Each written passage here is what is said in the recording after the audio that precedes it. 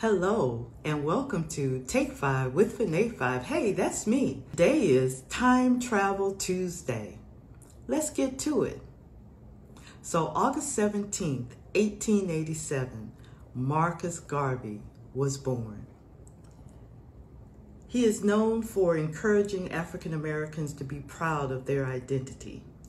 And one of his most famous quotes is as follows If we as a people realize the greatness from which we come, we would be less likely to disrespect ourselves. That's powerful.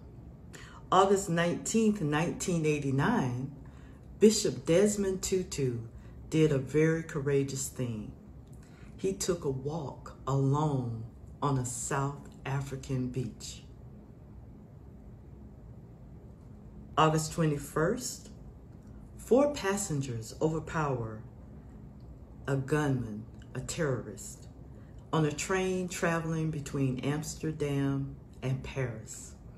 They overpowered him and saved many lives. Thank you for joining me on Take 5 with Fanae 5. Time Travel Tuesday. Be blessed.